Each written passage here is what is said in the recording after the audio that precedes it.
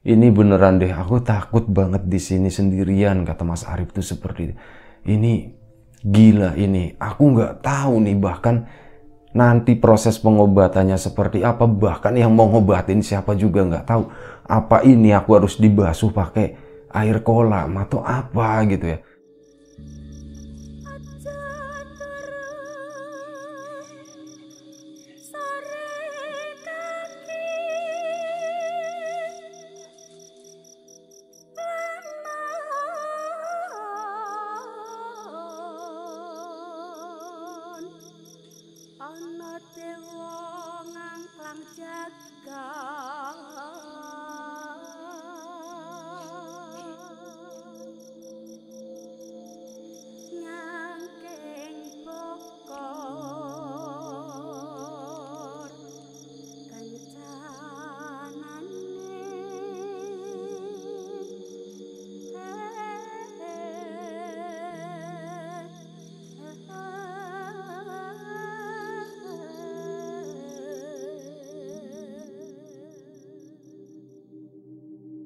Satu cerita lagi datang dari salah satu kawan subscriber. Kali ini datang dari Mas Arif yang nggak tahu di mana keberadaannya. Jadi ada satu pengalaman yang pernah Mas Arif alami sekitar kejadiannya sekitar 10 atau 15 eh 10 atau 15 10 atau 11 tahun yang lalu. Udah cukup lama dan kejadian ini tuh ada hubungannya dengan balai desa.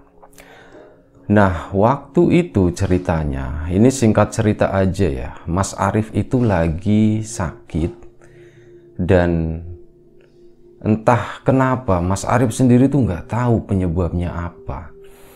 Tiba-tiba dia Mas Arif itu apa ya, boleh dibilang waktu itu belum bekerja gitu ya.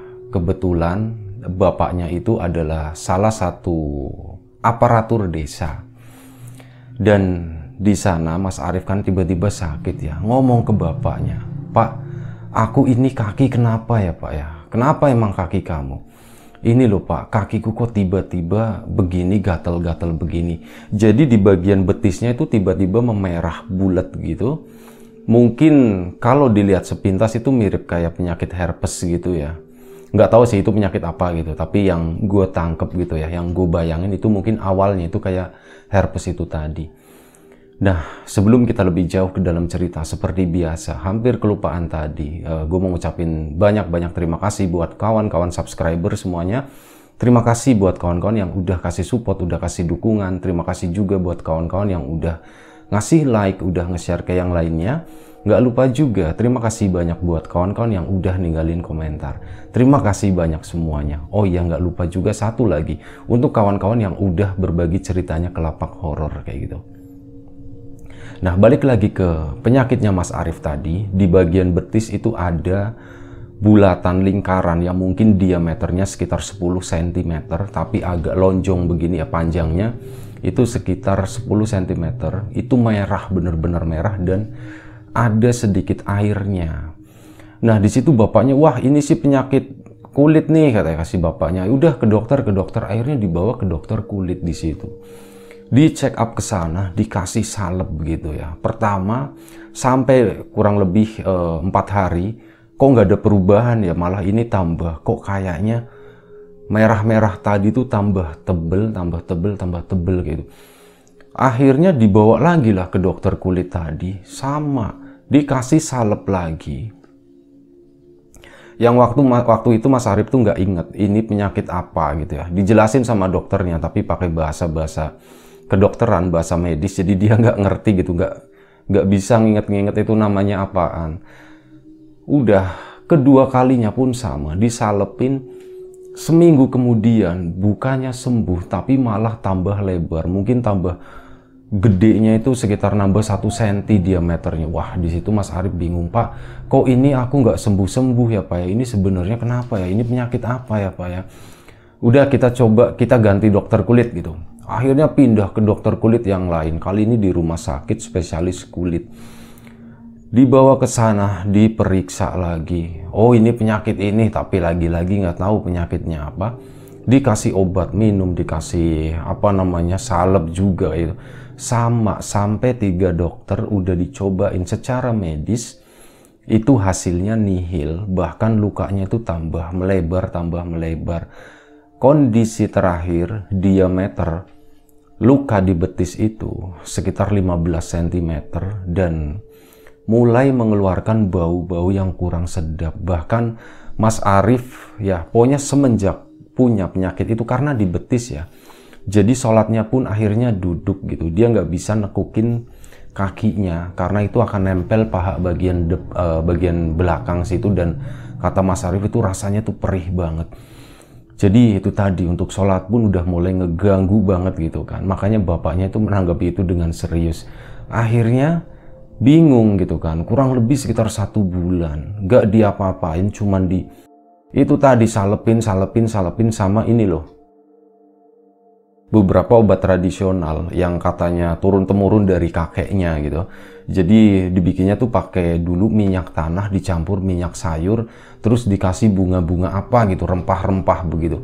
Diolesin. Memang dulu Mas Arif itu saat misal ada kayak gitu jatuh korengan kayak gitu atau digaruk korengan, diolesin itu biasanya dua hari itu sembuh. Cuman kali ini bener-bener nihil, sama aja, bahkan tambah parah, tambah parah. Sampai begini, saat ini mohon maaf ya barangkali agak sedikit nggak enak didengar atau nggak enak dibayangin. Itu sampai bagian atasnya tuh ngeletek gitu ya kering. Bagian dalamnya tuh udah kelihatan kayak masuk ke dalam gitu ya cekung gitu. Itu wah pak ini kondisinya kok makin hari makin begini makin begini ya pak ya. Kamu ada penyakit ini nggak sirip gitu ya. Oh nggak tahu pak. Akhirnya dicek lagi ke dokter kan dicek takutnya ini diabetes atau apa gitu ya. Diabetes basah kalau nggak salah ya. Uh, takutnya seperti itu. Biasanya kalau luka itu susah sembuh. Dicek semuanya tuh normal. Wah ini beneran derip. Ini bapak kita kan udah coba secara medis gitu tapi nggak sembuh sembuh iya pak. Uh, gimana ya pak ya? Gini derip kita coba jalur apa uh, alternatif. Kamu mau nggak gitu uh, ya boleh aja sih pak. Takutnya kamu itu ada sesuatu. Gini aja deh kamu jujur-jujuran sama bapak ya. Kamu pernah punya punya masalah nggak sama orang gitu? Kamu pernah nggak bikin sakit hati orang? Atau ada konflik nggak dengan seseorang? Diingat-ingat sama Mas Arif. Dia nggak ada pak. Dia jawab nggak ada pak. Ya bapak tahu sendiri. Saya eh aku tuh di rumah. Ya cuman di rumah aja pak. Kayak gini pak. Nggak jarang keluar-keluar juga. Saat keluar juga jarang bercanda-canda sama orang kayak gitu. iya sih.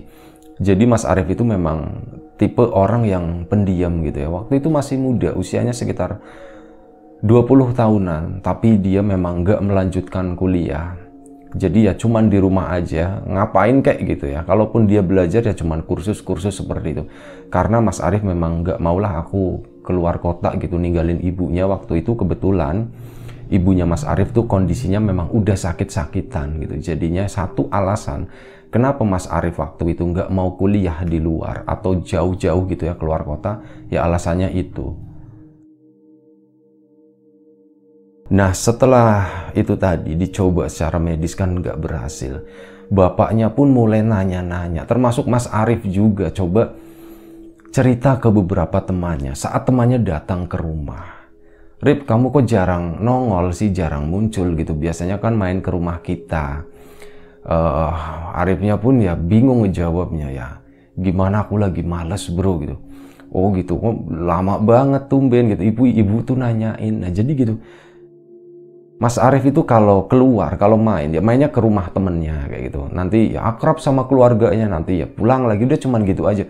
Jarang nongkrong-nongkrong kayak di pinggir jalan kayak itu tuh jarang banget.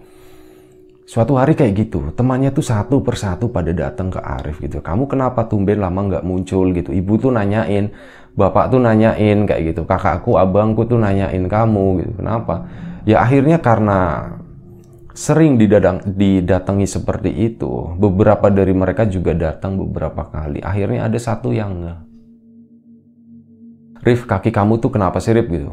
Dia tuh Arif itu pakai celana panjang, celana bahan gitu, jadi nggak kelihatan dari luar. Oh nggak apa-apa ini habis jatuh gitu. Dan akhirnya nggak sengaja ketemu sama bapaknya Arif si temennya tadi. Mas Arifnya tuh lagi ke belakang. Pak si Arif kakinya kenapa sih Pak itu Pak? Oh itu dibuka di situ sama bapaknya begini begini begini. Nah waktu keluar Mas Arifnya aduh Pak kok dicerita ceritain sih Pak gitu malu. Ya nggak apa-apa Rip gitu siapa tahu teman kamu ada yang punya obatnya gitu kata bapaknya.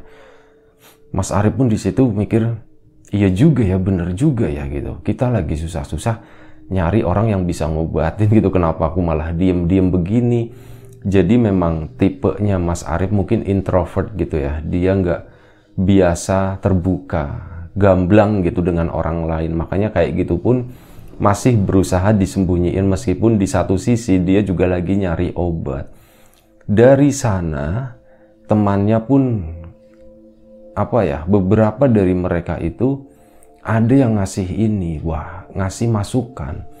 Rif kalau kayak gitu jangan-jangan ya penyakit kamu tuh ada sesuatunya kali Rif. Iya kali ya gitu. Mas Arif itu coba nginget-nginget lagi apa ya? Kira-kira apa ya. Dia itu baru ingat tentang satu kejadian yang mungkin waktu itu masih mungkin gitu ya ada hubungannya dengan koreng dia itu gitu dengan luka yang dia alami selama ini karena itu waktu itu udah sekitar dua bulan. Belum sembuh kondisinya tuh makin parah makin parah. Bahkan mulai agak ya pegel gitu. Pegelnya itu udah bener-bener susah diajak jalan aja. Itu udah cukup merepotkan sampai akhirnya kayak gitu. Ada masukan-masukan dari temennya seperti itu. Mungkin penyakitnya itu nggak beres nggak beres kayak gitu. Maksudnya itu sesuatu yang di luar medis gitu. Meskipun kondisinya itu medis banget itu dohir fisik tapi penyebabnya itu bukan dari situ. Dipikir-pikir sama Mas Arif aku ya memang ingat sih ada satu kejadian gitu tapi nantilah aku nggak mau ceritain dulu itu kejadian apa sampai akhirnya suatu hari bapaknya itu datang Rip, rip, rip, sini rip. Iya pak, kenapa pak? Bapak baru aja ketemu sama orang dan nggak tahu ini bisa jadi obatnya atau enggak gitu ya kata si bapak. Kenapa pak? Memang kenapa pak? Jadi gini, kamu ingat Pak Lurah nggak? Oh iya Pak Lurah, iya Pak Lurah. Itu kan temen bapak dari kecil gitu. Oh iya Pak, kenapa Pak? Bapak cerita sama Pak Lurah. Iya Bapak cerita sama Pak Lurah Pak Lurah gini, manggilnya bukan Pak Lurah ya, mungkin Bro gitu ya, karena mereka itu sohib dari kecil. Bro, ini uh, anakku lagi ada masalah nih begini begini begini. Masalahnya apa gitu ya? Masalahnya koreng gitu lah. Koreng aja kok repot gitu. Emang kenapa gitu? Tinggal ke dokter gitu. Kalau nggak kasih salep kayak apa kayak gitu. Kalau saya sih biasanya kalau korengan kayak gitu kasih salep 88 katanya gitu. Ini maaf ya nyebutin apa namanya merek karena merek ini salep 88 itu kan cukup legend juga gitu. Kalau saya biasanya pakai salep 88 juga sembuh gitu. Wah, wah apalagi salep begituan kata si bapaknya. Udah 88 itu pas awal-awal udah dikasih, tapi tetap aja nggak sembuh. Jadi kemarin kita udah ke dokter begini begini begini, tetap aja hasilnya nihil dan sekarang itu kondisinya begitulah. Ya udah gini aja deh. Uh, karena berhubung kita sohib gitu ya, kita itu bro gitu kata Pak Lurahnya ini kurang lebih ya ini improvisasi aja aslinya nggak begini tapi kurang lebih seperti itu ya karena kita itu udah kenal lama jadi gini nanti kamu tahu sendiri intinya begini aja uh, nanti Arif ajak ke sini ajak ke rumah saya gitu ajak ke rumah saya kalau saya nggak di rumah ya kalau aku nggak di rumah nanti ya ke sana aja langsung ke balai desa gitu Oh iya ya siap kapan? Hari Rabu katanya. Oh oke oke hari Rabu. Bapaknya pun pulang, itu tadi ngasih tahu Arif. Jadi gitu Rif, nanti kamu hari Rabu datang ke rumahnya si Pak Lurah gitu. Oh iya Pak, siap siap Pak. Tapi apa ya Pak obatnya kira-kira ya Pak ya? Mas Arif di situ udah mulai ya bertanya-tanya gitu, apa sih obatnya gitu. Kok sampai Pak Lurah segala gitu. Akhirnya udah singkat cerita Hari Rabu pun datang, hari Rabu siang. Ya bapaknya mungkin tahu, hari Rabu ah, si ini kan lagi dinas paling, ada di balai desa paling. Akhirnya apa? Sama Pak, eh, sama Mas Arif, bapaknya pun ke sana. Mas Arif diboncengin naik motor. Er, situ. Assalamualaikum, ketemu sama si Bro Lurah tadi. Pak Lurah gitu. Oh iya iya iya sini. Mau apa ya ke sini ya? Sampean yang ngasih tahu, sampean yang nanya mau apa gitu kan suruh kita disuruh ke sini hari Rabu. eh emang iya ya gitu iya gitu oh iya saya lupa saya lupa maaf maaf ini ya si Arif ya katanya iya Arif masih inget sama saya nggak Arif ya masih inget dong Pak Lurah gitu. Wah kamu udah gede ya. Saya jarang main ke sana gitu. Sibuk jadi lurah gitu. Sok sibuk aja sih sebenarnya. Jadi Pak Lurah tadi ini adalah masa jabatan yang ketiga kalau nggak salah ya. Masa jabatan yang kedua atau ketiga. Jadi memang udah lama jadi lurah di sana. Salah satu lurah yang dicintai sama warganya juga kayak gitu. Jadi saat pemilihan lurah ya itu telak gitu ya. Dang gitu. Dan ya udah di situ pun Arif cerita gini Pak Lurah, begini, begini, begini. Penyebabnya apa? Masih Mas Arif itu nyimpen. Nggak tahu penyebabnya itu apa. Udah, ya udah gini aja Rip. Coba saya mau lihat gitu kayak apa. Akhirnya dibuka sama Arif gitu kan. Lah kondisinya itu udah diperban gitu. Rip, Rip, koreng kayak gini kenapa diperban? Nanti nggak sembuh-sembuh loh, malah basah loh. Ya iya Pak Lurah, soalnya kalau misal dibuka kan saya pakai celana nanti celananya basah. Itu ngundang lalat Pak Lurah malu gitu. Oh iya iya iya. Ya udah anggap aja. Oke deh ini parah gitu ya kata Pak Lurah parah. Uh, baik gini aja Rif. Mungkin insya Allah ada obatnya ya Rif ya. Insya Allah ada obatnya insya Allah obatnya juga paten. Ini yang saya percaya sih ini memang penyakit nggak beres penyakit nggak benar meskipun kamu nggak ngebuka itu apa gitu. Tapi saya ngerasain kamu pernah mengalami satu kejadian tertentu yang ya mungkin kamu nggak mau cerita dan saya itu menghargai itu. Nggak masalah nggak masalah. Latar belakangnya seperti apa kata Pak Lurah no problem. Gini aja deh. Malam minggu atau malam Sabtu sebentar Pak Lurah itu sempat mikir milih hari malam Jumat malam Sabtu malam Minggu apa ya kira-kira enaknya apa ya gitu kamu bisanya kapan? Biasanya sih kapan aja bisa Pak Lurah gitu. Akhirnya Mas Arif pun, eh Pak Lurah pun ya udah deh, gini aja deh, malam minggu aja ya, biar besoknya itu balai desa nggak buka, gimana? Oh ya udah siap Pak Lurah, malam minggu, malam minggu ngapain Pak Lurah? Malam minggu kamu datang ke balai desa ini. Oh, balai desa kan udah tutup Pak Lurah Justru itu malam minggu kamu ke sini. Kamu ke sini sendirian, ya diantar sama bapak kamu nggak apa-apa sampai balai desa. Tapi nyampe masuk sini, kamu jangan ditemenin sama siapa-siapa. Kamu sendirian aja, terus kamu tuh duduk di sana tuh, di depan situ tuh. Jadi di apa namanya di depan balai desa itu, itu kayak ada kolam ikan kecil di situ ya. Nah disuruh duduk di sana. Kamu duduk di sana ya Rip ya Ya terus ngapain Pak Lurah? Ya udah duduk aja di sana, nanti dulu saya jelasin kata Pak Lurah. Kamu ke sini boleh diantar sama bapak kamu, setelah itu bapak kamu pulang. Udah kamu di sini aja. Pak Lurah di mana? Nanti dulu gitu kata Pak Lurah. Sabar, sabar. Kamu ke sini mungkin sekitar jam 9 malam, saat orang udah sepi gitu. Balai desa udah mulai sepi, kamu ke sini. Udah, kamu tunggu aja di sana dan kamu apa ya? Kamu berdoalah di situ berdoa minta sama Allah yang di atas, minta sama Tuhan. Minta tolong gitu, tolong disembuhin penyakit saya. Udah itu aja, kamu berdoa di sana terus aja. Lah Pak, di balai desa kan sendirian Pak, nanti kalau malam-malam ada apa-apa gimana Pak? Ya itu resikonya, itu ujiannya kata Pak Lurah gitu. Waduh berarti bakal serem dong Pak Lurah. Ya mungkin bakalan serem gitu, tapi kamu mau sembuh enggak? Katanya. Iya Pak Lurah, iya Pak Lurah aku mau sembuh gitu ya udah kalau kamu mau sembuh udah cobain yang satu ini deh insya Allah beneran deh Pak Lurah yakin berapa persen 90 persen insya Allah gitu katanya. Beneran nih Pak Lurah? Iya. Yang penting yakin kata Pak Lurah itu. Oh baik Pak Lurah baik baik. Nanti deh saya pikir-pikir dulu kata Mas Arif tuh seperti itu. Eh udah. Tenang aja Rip kata bapaknya. Udah malam minggu berangkat katanya. Iya iya iya. Akhirnya mereka pun pulang. Pulang udah. Uh, sebelum pulang itu sempat dikasih tahu begini. Sorry ada yang kelupa tadi. Jadi gini, Rip. Apa pun yang terjadi di sini nanti malam itu, satu kamu nggak usah takut, udah. Gitu aja. Bilang aja kalau ada apa-apa, saya di ini saya temannya Pak Lurah gitu. Kayak gitu sambil Pak Lurahnya ketawa. Wah, iya iya iya ya Pak Lurah siap Pak Lurah. Akhirnya mereka pun pulang dan siap-siap.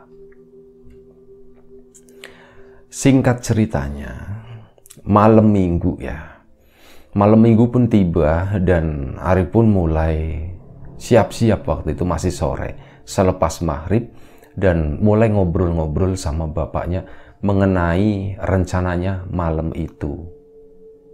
Bapaknya tuh nanya, gimana Rif? Kamu udah siap malam ini? Ya insya Allah saya siap pak. Uh, ya udah ingat aja pokoknya pesan Pak Lurah gitu. Kalau terjadi apa-apa bilang temennya Pak Lurah kata bapaknya sambil ya sambil ngeledek begitu ya konteksnya tuh bercanda iya pak iya pak tapi Mas Arif di situ kelihatan banget kalau mukanya tuh tegang gitu. Dia tuh mau disuruh kayak uji nyali seperti itu ya. Uji nyali di balai desa yang sebenarnya itu terkenal angker gitu. Angkernya tuh kalau malam kalau siang kan ada aktivitas orang nggak ini ya nggak ada masalah gitu. Cuman kalau malam warga itu udah tahu kalau di balai desa itu ya angker intinya seperti itu. Dan Mas Arif tuh ngerasanya ini bakalan uji nyali nih gitu ya. Ah udah nggak apa-apa deh demi kesembuhan kaki gitu ya. Aku pasrah aja udah aku pasrah. Daripada aku begini gitu kan menyangga penyakit seperti ini tuh nggak enak banget gitu saat ya saat aku sholat aku masih muda sholat harus duduk segala macem bener-bener itu tuh bikin nggak nyaman lah intinya seperti itu akhirnya singkat cerita Sekitar jam 9 malam, Mas Arif diantar sama bapaknya menuju ke balai desa tadi. Turunlah mereka dari motor. Rif, ternyata kalau malam gelap ya Rif ya? Iya pak, gelap pak. Gimana, kamu berani nggak? Mau bapak temenin nggak pak? Kan katanya nggak boleh ditemenin pak. Udah bapak pulang aja, aku ini udah tekad bulat kok pak. Aku udah bismillah insya Allah aku berani pak, aku nggak takut gitu. Oh ya sudah, nggak apa-apa deh kamu tenang aja ya Rif ya, nggak usah apa-apa. Itu tadi inget-inget, kalau ada apa-apa bilang aku temennya Pak Lurah gitu. Oh iya Pak, iya Pak. Akhirnya bapaknya pun pulang. Ya udah kamu hati-hati ya. Nanti bapak jemput nanti pagi gitu. Iya baik Pak, baik. Akhirnya bapaknya pun pulang dengan penuh was-was, dengan penuh ya agak rasa takut juga ya gitu. Ini ninggal anak sendirian di balai desa ini di satu tempat yang konon katanya di situ tuh angker Akhirnya sudah, Mas Arif pun mulai memasuki, belum memasuki, masih berdiri di gerbang. Tengok, tengok kanan kiri. Waduh, ini kanan kirinya tuh masih sawah, masih kebun gitu. Ada rumah itu di seberang jalannya balai desa, tapi itu ya kanan kirinya juga gitu, agak jauh. Jadi malam itu tuh benar-benar Mas Arif boleh dibilang di sana itu sendirian balai desa malam itu nggak ada yang jaga Pak Hansipnya nggak tahu ke mana gitu ya. Tapi nggak ada yang jaga sama sekali. Mas Arif masuk ke dalam Assalamualaikum gitu. Udah itu inisiatif aja bukan sesuatu yang diajarin sama Pak Lurah. Itu inisiatif aja. Assalamualaikum Pak Arif eh Mas Arif pun menuju ke sana ke depan. Dan dia sebelum duduk sebelum apa ya melakukan sesuai yang diperintah sama Pak Lurah Mas Arif itu sempat keliling dulu gitu ya. Keliling lihat-lihat. Ibaratnya tuh kayak menenangkan diri sendiri gitu. Tapi dengan cara seperti itu. Aku mau keliling aku mau lihat sekitar dulu. Kalau sudah aku baru mau duduk di sana. Mas Arya pun menyempatkan mungkin sekitar 5 atau 10 menit keliling di situ di balai desa situ. Tapi nggak bagian belakang ya. Cuman bagian depannya doang. Setelah itu dia duduk di uh, kolam ikan yang disebutin sama Pak Lurah itu ada di tengah-tengah balai desa itu. Dia duduk di sana tengah tapi agak samping ke sana. Agak samping kalau masuk itu ke kiri. Dia duduk di sana di dekat pagar ini ya, pagar balai desa di situ. Dia kayak merenung sendiri gitu. Bener-bener hening malam itu. Sepi banget ya, bunyinya cuman bunyi jangkrik gitu sama ada lah suara burung-burung malam kayak gitu. Ini beneran deh, aku takut banget di sini sendirian kata Mas Arif tuh seperti itu. Ini gila ini, aku nggak tahu nih bahkan nanti proses pengobatannya seperti apa bahkan yang mau ngobatin siapa juga nggak tahu apa ini aku harus dibasuh pakai air kolam atau apa gitu ya di situ masih gundah gulana gitu ya apa sih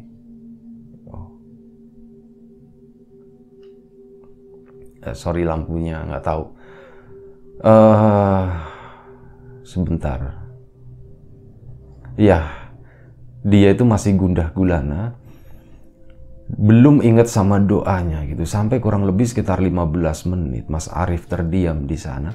Mas Arief baru keinget oh iya aku harus berdoa gitu. Aku harus meminta aku harus memohon sama Tuhan gitu ya supaya diberi kesembuhan dan berdoanya di sini gitu. Ini agak sedikit aneh juga. Tapi udah nggak apa-apa wis gitu. Yang penting berdoanya kan sama gitu ya sama yang di atas gitu. Mas Ari pun berdoa ya Allah aku minta tolong gitu. Apa pun jalannya apa pun medianya tolong sembuhkan penyakit yang ada di kaki saya ini. Saya itu pernah mengalami seperti ini seperti ini seperti ini. Engkau maha tahu intinya seperti itu ya jadi begini Mas Arif itu awalnya dia pernah pergi ke suatu tempat suatu tempat yang itu sebenarnya objek wisata ya objek wisata di mana di situ tuh ada pohon besarnya yang biasa dipakai orang itu buat foto-foto. Nah, siang itu Mas Arif dan kawan-kawan pun ke sana foto-foto di situ tapi ada sesuatu yang Mas, Al, Mas Arif alami siang itu. Dia ngerasa saat foto-foto itu tangan eh sorry. Uh, bagian kakinya betisnya itu ada yang megang dari belakang gitu, Cuk, gitu kan. Mas Arif nyadar cuman karena udah hitungan 3, 2, 1 Mas Arif nahan diri kan dia masih terdiam begitu. Cetrek gitu baru Mas Arif nengok ke belakang nah di sana dia itu ngelihat ada satu sosok tangan warnanya hitam kukunya panjang-panjang itu lagi megang betisnya begini dan Mas Arif tarik si sosok itu seolah-olah seingatnya Mas Arif itu dia me, apa ya ngencengin cengkeramannya begini srek gitu Terus Mas Arief ditarik gitu kan. Jadi kayak ada semacam goresan. Tapi secara dohir, secara uh, fisik di kakinya Mas Arief itu nggak kelihatan sama sekali. Dia pun langsung pergi ke sana tanpa cerita ke kawan-kawannya. Dan beberapa hari kemudian itu tadi rasa gatel, rasa panas kakinya mulai memerah dialami sama Mas Arief sampai hari itu seperti itu. Itu diceritain semuanya di sana. Dan setelah sekian lama gitu ya dia berdoa di sana. Jadi nggak langsung prosesnya itu cukup lama. Berdoa seperti itu gitu. Nggak terjadi apa-apa Mas Arief pikirannya udah mulai rusak lagi aduh ini nanti ada yang muncul gimana aja ada yang muncul gimana dan menurut Mas Arief memang betul malam itu tuh ada sedikit gangguan di sana Mas Arief itu ngelihat ada beberapa sosok yang sempat muncul di depannya di situ. Dari arah ruang pojok sana misal ya. Itu kayak ada seorang nenek-nenek gitu ya. Itu jalan gitu tapi tiba-tiba hilang. Cuma sepers, uh, cuma sekian detik doang hilang, Bos. Terus ada satu lagi di bawah satu pohon, entah itu pohon apa di pojokan balai desa itu ada sosok pocong yang mungkin ya menurut Mas Arief itu pocong, nggak kelihatan sepenuhnya, tapi dia tuh begini loh, kayak ngintip-ngintip malu-malu begitu ngeliat begini itu cuman putih, ada buntelan di atasnya, sininya tuh hitam gitu, begini, masuk lagi, begini masuk lagi, astagfirullahaladzim itu pocong, itu pocong katanya. Udah Mas Arief berusaha tenang di sana. Ada satu lagi si kuntilanak juga datang ke situ. Dia lewat ber lewat di depannya di koridor-koridor balai desa di situ bukan di koridor sih tapi kayak di terasnya begitu ser dia terbang terus sesekali dia muncul di dalam ruangan di balik jendela kaca seperti itu yang sebenarnya kordennya ditutup tapi entah kenapa sebelumnya itu nutup gitu. Kata Mas Arief entah kenapa saat aku ngeliat itu tuh seolah-olah korden itu kebuka gitu dan si sosok kuntilanak tadi itu ada di dalam sana. Udah Mas Arif tetap bertahan dengan kondisi yang seperti itu, tekanan-tekanan seperti itu sampai akhirnya ada sesuatu yang apa namanya ya, yang jatuh di atas air yang ada di kolam di belakangnya Mas Arif tempat dia duduk itu.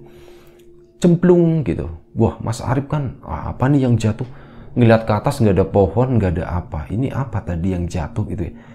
suaranya ikan kalau lompat tuh nggak kayak gitu nggak plung gitu nggak tapi kan ya beda lah sama suara ikan lompat Mas Arif nengok ke belakang apa yang jatuh ya oh Mas Arif tetap diem aja beberapa menit Mas Arif diem gitu di sana sampai Mas Arif tuh ngeh ada suara gemericik air yang waktu itu Mas Arief tuh masih curiganya "Ah, itu paling ikan gitu, ikan di belakang. Ikannya lumayan gede-gede dan tiba-tiba Mas Arief itu kaget banget, bener-bener kaget katanya tuh ya. Jantungnya tuh mau lepas beneran, itu sumpah kaget banget. Aku lagi ketakutan begitu, aku lagi ngelamun. Lagi memantau bunyi-bunyi yang ada di belakangnya itu. Tiba-tiba ada tangan seolah-olah ada sesuatu yang menyentuh pundaknya gitu. Dan itu seolah-olah itu tangan gitu serasa tangan begini dan itu basah dingin gitu. Mas Arif kan nggak berani nengok dia. Dia cuman diem aja istighfar terus astagfirullahaladzim ini apa? Astagfirullahaladzim ini apa? Ini apa Mas Arif nengok begini itu adalah seorang eh, sebuah tangan tapi tangannya bentuknya tuh kayak tangan manusia dan kulitnya itu udah keriput gitu. Dan di sana Mas Arif pun yakin atau menyangka udah menduga gitu kalau ini adalah tangannya seorang yang udah sepuh seorang tua gitu. Dan tiba-tiba si sosok yang di belakang kolam tadi Mas Arif nggak ngeliat lompatnya ya itu tangannya dilepas begini terus tahu-tahu dia udah berjalan di sampingnya begini ngadep Mas Arif. Nak gitu ya nyebutnya gitu ya nak kamu kenapa? gitu. Mas Arif pun di situ bingung mau ngejelasin gimana ini orang siapa? Masih ketakutan intinya. Ini siapa? Ada seorang kakek-kakek usianya udah sepuh banget udah bongkok badannya dan dia tuh badannya basah semua gitu. Karena seolah-olah itu muncul dari dalam kolam yang ada di belakangnya Mas Arif itu. Nak kamu kenapa? Kamu ada apa ke sini gitu? Dan aku ingat di situ Mas Arif aku temennya Pak Lurah aku temennya Pak Lurah katanya. Aku disuruh Pak Lurah ke sini. Iya ndak apa-apa gitu. Iya Pak Lurah gitu ya. Pak Lurah yang baik itu kata si orang tua itu. Iya iya saya temennya Pak Lurah iya udah ndak usah takut ndak usah takut. Kamu ke sini mau apa? Akhirnya diceritain begini mbah nuhun sewu gitu. Saya tuh punya sakit seperti ini seperti ini seperti ini. Oh begitu. Coba Simbah lihat gitu. Akhirnya dibuka sama Mas Arif dan waktu itu kan kondisinya masih diperban ya. Setelah diperban Mas Arif itu pakai celana bahan. Celana bahannya itu kayak dilingkis begitu sampai ke ini sampai ke lutut setelah itu diperban perbannya itu dibuka. Simbah tadi sosok kakek-kakek tadi itu perbannya dibuka aja gitu. Mas Arif aduh dalam hati langsung kebayang. Aduh dibuka ini tuh sakit gitu sakit. Tapi udah dibuka aja kata si mbah tadi. Dibuka pelan-pelan dan di situ anehnya Mas Arif tuh nggak ngerasa sakit nggak ngerasa perbannya lengket. Pokoknya itu benar-benar dibuka itu gampang banget nyaman banget rasanya akhirnya dibuka gitu pelan pelan pelan sampai perbannya itu lepas. Dan begini. Kata Mas Arif tiba-tiba tuh begini si orang tua tadi dia kayak ngambil sesuatu orang tua itu bajunya itu nggak jelas. Bukan baju-baju yang dipakai umum sama orang-orang. Tidak mewakili sepengetahuannya Mas Arif ya itu tidak mewakili baju budaya mana pun atau baju adat mana pun gitu itu benar-benar nggak tahulah aku juga nggak tahu ini uh, orang mana bajunya begini dari mana gitu kan. Biasanya ada penampakan orang tua pakai bajunya Jawa atau apa menyerupai apa gitu pakai jubah atau apa. Ini tuh nggak bener-bener Mas Arief tuh nggak ngerti sama sekali. Dia ngeluarin sesuatu dari dalam bajunya situ. Dia tuh ngeluarin kayak air yang ditaruh di bambu begini. Bambu kayak tempatnya jangkrik. Kalau beli jangkrik biasanya ditaruhnya kan di bambu. Nah mirip seperti itu. Panjangnya kurang lebih sekitar 10 cm Nah itu dibuka pluk dituangin sama simbah tadi. Curur gitu. Dan rasanya kata Mas Arif itu adem banget. Kebayangnya waktu ditumpahin begitu bakalan perih nih bakalan perih. Dan itu rasanya adem banget. Itu sampai bener-bener ngebasahin lukanya Mas Arif. Setelah itu ini obatnya ya nak gitu ini obatnya insya Allah nanti cepat sembuh kata Simbah tadi Oh iya terima kasih mbak, terima kasih mbak. Ya sudah begini, mbak udah tahu apa yang terjadi sama kamu seperti ini dan memang ya obatnya seperti ini. Kalau begitu Simbah permisi dulu ya. Gitu. Oh iya mbah, iya mbah, ya udah kamu nunduk lagi, jangan ngeliatin Simbah perginya ke mana. Mas Arif pun nurut dia nunduk begini, tapi kan matanya masih kelihatan. Simbah itu balik ke belakang lagi dan masuk ke dalam kolam itu, kolam ikan yang ada di belakangnya Mas Arif tadi. Dan udah setelah itu bener-bener nggak terjadi apa-apa lagi. Simbah itu udah hilang begitu aja. Waktu itu masih sore, belum terlalu malam. Mungkin sekitar jam 10, jam setengah 11 malam ya eh, kejadiannya itu. Dan Mas Arif tuh bingung, waduh ini aku katanya udah dapat obatnya. Dan jujur aja, ini bener-bener yang namanya luka ini tuh udah nggak ada rasanya sama sekali. Rasanya tuh adem dan seolah-olah itu kayak udah sembuh gitu ya. Mas Arif pun bingung gitu, ini basah gitu. Masih dipegang sama Mas Arif sempet, ini basah tapi basahnya air gitu ini bukan basahnya dari lendir itu ya, dari lendir luka tadi itu bukan. Ini tuh air ya udah. Aku coba berdiri deh Mas Arif coba berdiri dan yang namanya sakit itu benar-benar hilang sama sekali malam itu. Cuman dia bingung. Bapakku mau jemput ke sini pagi-pagi gitu. Ini baru jam berapa gitu perasaan baru sebentar banget. Ah udah, aku pulang aja kalau kayak gitu. Nah setelah itu bilang ke simbahnya. Sebelum Mas Arif kan bangun, dia balik lagi ke kolam arah kolam Mbah terima kasih ya Mbah atas perantara Mbah Alhamdulillah sakit saya sembuh gitu saya udah nggak ngerasain apa-apa sekarang Mbah akhirnya Mas Arif pun ininya celananya ditutup lagi Mas Arif pun jalan geloyor keluar balai desa tadi nah di balai desa itu jalan ketak-ketuk ketak-ketuk pulang ke rumah gitu saat pulang ke rumah ternyata di sana bapak uh, bapaknya tuh belum tidur dan serunya lagi di situ tuh ada Pak Lurah gitu. Dan di sana, wah udah pulang, udah pulang nih si anak. Nih sini sini sini sini. Gimana tadi gimana? Pagernya udah ditutup lagi belum? Udah, udah Pak Lurah udah. Terus gimana tadi? Alhamdulillah diceritain semua yang dialami sama Mas Arief tadi ya gitu nggak usah diceritain ulang tapi intinya kejadian tadi di sana di Bali desa itu diceritain sama Mas Arief oh iya gitu Mas Arief pun nanya sama Pak Lurah, Pak Lurah itu sebenarnya siapa sih gitu. Oh itu itu adalah ya sesuatu gitu atau ya makhluk juga, makhluk Allah juga gitu. Ya mereka yang jelas beliau itu sejenis jin begitulah, tapi memang beberapa kali ya ceritanya cukup panjang kata Pak Lurah. Jadi sudah ada beberapa orang yang memang dibantu disembuhkan sama sosok tadi, sosok simbah-simbah itu gitu. Dan awal pertemuannya sama Pak Lurah tuh ya bilang begitu, kalau kamu misal ada warga yang sakit parah, sakit udah lama, tapi ini khusus warga kamu ya, Injih mbah ya, bawa aja ke sini gitu, kali aja simbah punya obatnya. Seperti itu, tapi ini untuk penyakit-penyakit yang nggak beres kalau yang penyakit medis larinya ke medis, katanya begitu aja. Oh begitu ya Mbak, namanya eh begitu ya Pak Lurah.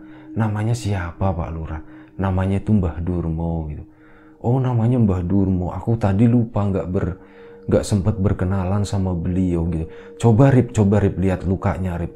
Dibuka sama Mas Arif waktu itu ada Pak Lurah, ada bapaknya juga dan di situ alhamdulillah bener-bener lukanya itu kering gitu benar-benar kering cuman ya tinggal dikletek gitu aja lah kasarnya seperti itu itu benar-benar kering dan dua hari kemudian setelah itu alhamdulillahnya lagi. Lukanya Mas Arif itu sembuh begitu. Ya kurang lebih seperti itu ceritanya. Satu cerita dari Mas Arif di satu kabupaten yang nggak mau disebutin gitu. Kabupatennya apa kejadiannya udah belasan tahun yang lalu. Dan Pak Lurah sekarang udah nggak menjabat sebagai Pak Lurah lagi karena udah terlalu sepuh gitu. Beliau minta istirahat, disuruh minta warganya lagi untuk ikut pemilihan, tapi beliau angkat tangan gitu. Tapi ya adalah penggantinya kayak gitu. Nah kurang lebih seperti itu ceritanya. Terima kasih Mas Arief yang udah berbagi ceritanya. Terima kasih kawan-kawan di rumah semuanya yang udah mau nonton, udah mau dengerin cerita ini. Mohon maaf sebesar-besarnya kalau misal ada sesuatu yang nggak berkenan di mata, di hati, di telinga kawan-kawan semuanya mohon dimaafkan. Siapa pun itu, semoga kita dimudahkan dalam hal apa pun, termasuk kemudahan dalam hal rizki. Siapa pun sekarang yang lagi sakit, semoga segera diberi kesembuhan. Siapa pun sekarang yang masih sehat, semoga tetap dijaga kesehatannya. Sampai jumpa di episode selanjutnya Lapak Horor. Oh ya satu lagi, jangan iri, jangan dengki. Siapa yang rugi kita sendiri gitu. Terima kasih sekali lagi. Mohon maaf sebesar-besarnya. Jaga kesehatan kawan-kawan semuanya. Assalamualaikum warahmatullahi wabarakatuh.